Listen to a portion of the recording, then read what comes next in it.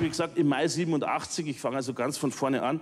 Wir sind damals in einem äh, Münchner Traditionslokal im Alten Simpel gesessen. Also wir, das sind zwei Redakteure von der österreichischen Zeitschrift Wiener und ich. Und wir haben an diesem Abend beschlossen, äh, ja, wir haben das eine oder andere Bier getrunken und haben dann beschlossen, äh, dass wir den, äh, eine, eine Waldheim-Aktion machen. Wir haben beschlossen, wir rufen den an und zwar nicht als ich, als Ottfried Fischer, sondern als Franz Josef Strauß. Äh, spätestens jetzt merken Sie, es handelt sich um einen historischen Stoff, weil so blöd ist nicht einmal der Waldheim, das auf einen Verstorbenen reinfällt. Und dann haben wir jedenfalls angerufen, es wir wählen durch, es meldet sich eine Stimme, ja, hier Bundespräsidialamt. Dann habe ich gesagt, ja, grüße Gott, hier ist Franz Josef Strauß München, kann ich mal den Dr. Waldheim sprechen? Äh, daraufhin sagt er, ja, Moment. Äh, es wird ruhig, es dauert 60 Sekunden. Wahrscheinlich war er gerade in der Bordwand. Man hört im Hintergrund eine Tür und dann hört man, Hallo, ja, grüße Gott, Dr. Waldheim, hier ist Franz Josef Strauß München. Herr Ministerpräsident, eine Freude, Ihre Stimme zu hören. Ganz meinerseits, Herr Dr. Waldheim, ich rufe Sie privat an und Sie werden sich wahrscheinlich etwas wundern. Ich habe Ihre letzten Aktionen im Ausland verfolgt und ich muss Ihnen da wirklich mein großes Kompliment aussprechen. Und ich habe mir gedacht, dass ich Sie nach Bayern einlade und da wollte ich mal privat vorfühlen. Eine wunderschöne Gelegenheit wäre unser Oktoberfest. Ah, im Oktober.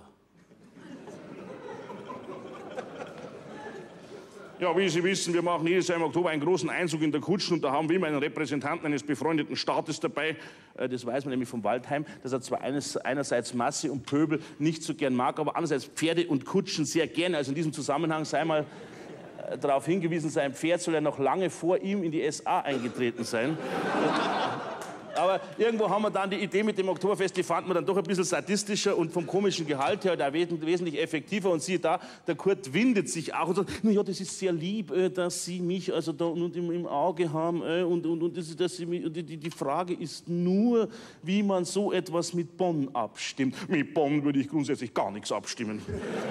Aber mit Bonn, mit Bonn müsste man es doch irgendwie abstimmen. Ich werde das intern klären. Intern klären werden Sie das machen. Soll ich Kontakt nehmen? Ich werde es zunächst selbst besprechen. Sie können natürlich auch selbst Kontakt aufnehmen. Also abheben wird man ja schon noch, wenn der österreichische Bundespräsident in Bonn anruft. Leichte Verunsicherung beim Waldheim. Also, also ich, meine, ich meine, der bayerische Ministerpräsident äh, Dr. Waldheim, einige Dienstjahre habe ich schon auf dem Buckel, der kann sich das schon erlauben. Selbstverständlich, Herr Ministerpräsident. Äh, außerdem, außerdem haben wir eine äh, persönliche Freundschaft hergestellt anlässlich des Wiener Opernballs und da wurde es mir ein bisschen brenzlig. Äh, und dann sagt er, äh, ja, ja, das, das, das, ich mich sehr bedanken. Also wir werden es vorerst noch äh, vertraulich behandeln. Ja, ja, wir tun es vorerst noch äh, vertraulich behandeln. Ja, ja, gut, vertraulich. Ja, ja, ich auch. Äh, Herr Dr. Waldheim, ich, ich, ich, wünsche Ihnen einen wunderschönen Sonntag. Äh, Dankeschön, ich wünsche Ihnen das Gleiche. Und noch etwas, Herr Dr. Waldheim, ich, ich bin Ihr Bewunderer. Ah, das ist sehr lieb, ja. naja, wir werden schon durchstehen. Ja, sicher werden wir es durchstehen. Ich meine, das haben schon ganz andere überstanden, Dr. Waldheim, gell? Und, äh, und jetzt kommt das vom Waldheim, was ihm wirklich anscheinend in Fleisch und Blut übergegangen ist. Äh, folgendes Zitat.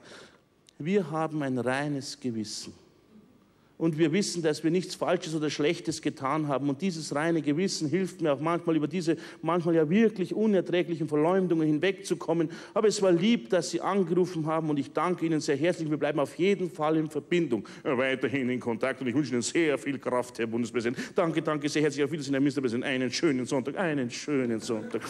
Und also zwei Monate lang konnte sich dann der Waldheim, nachdem dieses Gespräch nach 20 Minuten abgebrochen war, äh, konnte sich der Waldheim zwei Monate lang auf dieses große Ereignis freuen. Und dann wurde aber, wie gesagt, zwei Monate später dieses Gespräch im österreichischen Wiener veröffentlicht.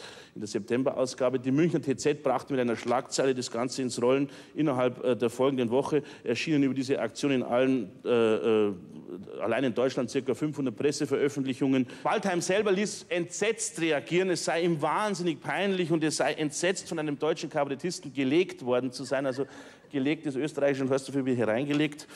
Und er sei mit Methoden, hat er verlauten lassen, er sei mit Methoden des kriminellen Kabaretts gelegt worden. Also, also diese K&K-Methoden.